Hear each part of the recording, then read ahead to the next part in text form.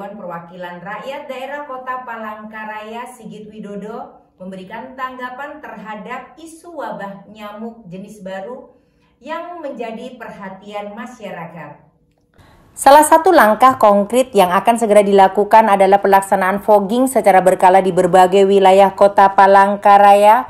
Fogging merupakan metode pengendalian nyamuk yang efektif untuk mengurangi populasi nyamuk dan mencegah penularan penyakit dibawa oleh nyamuk.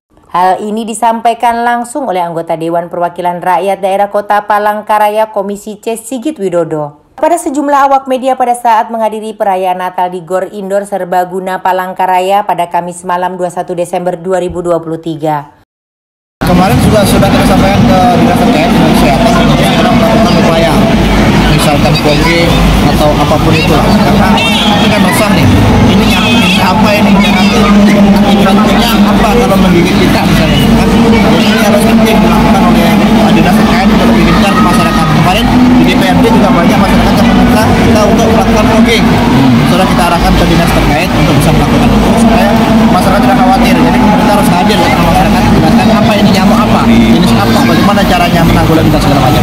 Saya pikir edukasi Tindakan ini tidak hanya menjadi tanggung jawab pemerintah, tetapi juga tanggung jawab bersama. Mari bersama-sama menjaga kebersihan lingkungan kita agar dapat terhindar dari ancaman wabah nyamuk. Dari Kota Palangkaraya, Provinsi Kalimantan Tengah, Abdul Aziz Sampai TV mengabarkan.